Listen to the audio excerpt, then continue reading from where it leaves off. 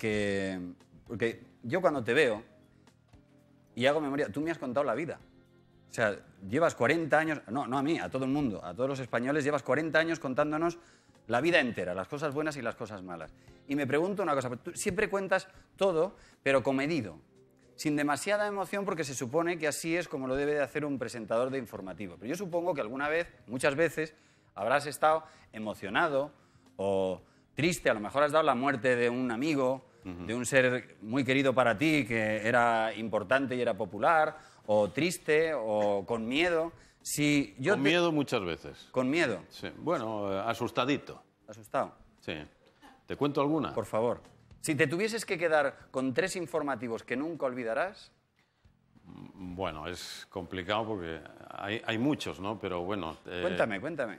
Va. Probablemente el, el 23F, Va. El 23F, eh, el, intento de golpe de Estado, eh, aquella mañana pues yo tuve un papel inesperado, porque eh, sucedió todo a partir de la tarde para la noche la vivimos de aquella manera, no pudimos emitir cómo habían asaltado el Congreso y tal, y las primeras imágenes que íbamos a ver en directo eran a través de una cámara que se había instalado en el hotel enfrente del, del Parlamento, de las Cortes. Y me dice el subdirector de informativos, había- estábamos allí todos de guardia, esperando a ver qué sucedía, qué es lo que íbamos a poder hacer. Y hace así una visión, mira que yo era el peor de los que había allí, sin duda alguna. Había pesos pesados, más representativos. Y dice, Matías, bájate que tienes que comentar las primeras imágenes que van a venir del Congreso. Ostras. Bueno, Qué miedo. pues eso es. Entonces me, me santigüé, me bajé y vamos a ver las primeras imágenes que nos llegan desde el Congreso de los Diputados.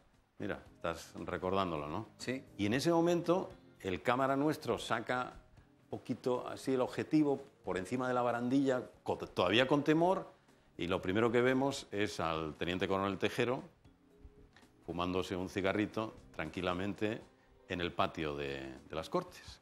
Y estaba acompañado por eh, el capitán de navío Camilo Menéndez. Los dos, charlando tranquilamente, mirando así, con el cigarrito en la mano y tal. Y claro, yo, pipiolo, veo aquello y claro, no me queda más remedio que relatar lo que estaba viendo. Señores, me parece reconocer, era fácilmente reconocible, pero yo, por eso que dices tú, comedido. Medida. Porque si metes la pata en eso, estás ya fuera de la tele. Entonces empecé a narrar, es el teniente coronel Tejero, está acompañado por el capitán de navío, Camilo Menéndez, son ellos. ¿no? Entró el, el subdirector de informativos que me había mandado a hacer ese papel con las manos en, la cabeza. No, no puede ser, no puede ser. Digo, sí, sí, es el teniente coronel.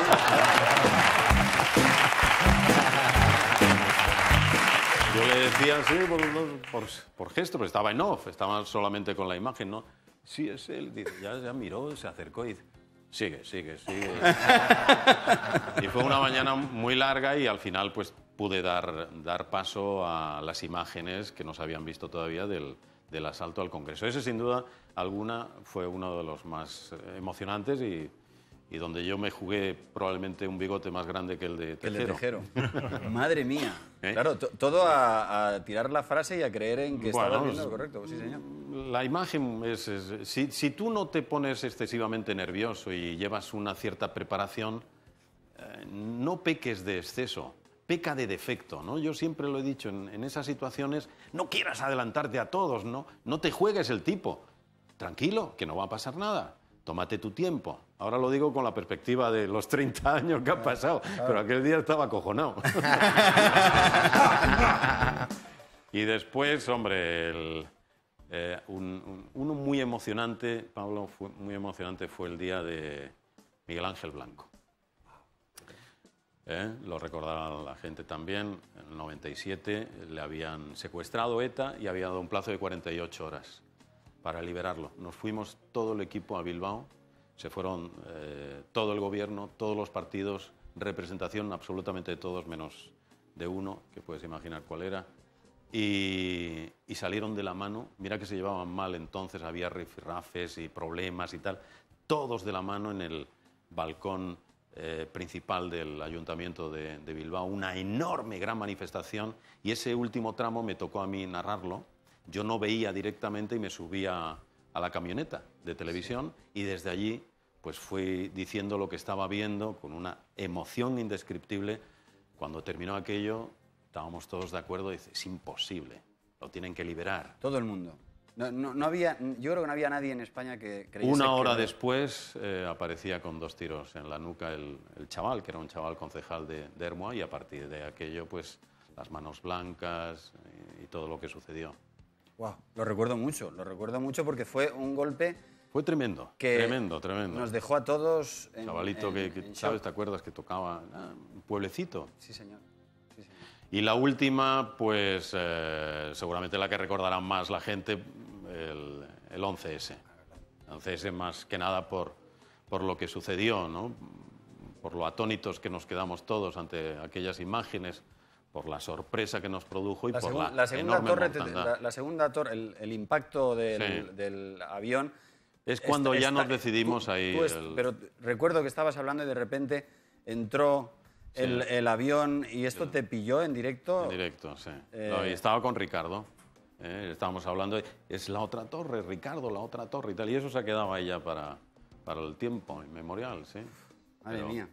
Y así podríamos elegir. Pero vamos, si eh, tengo que hacer, eh, escoger dos o tres, seguramente hayan sido las, las más impactantes, las más terribles, tremendas, eh, sufridas, en fin.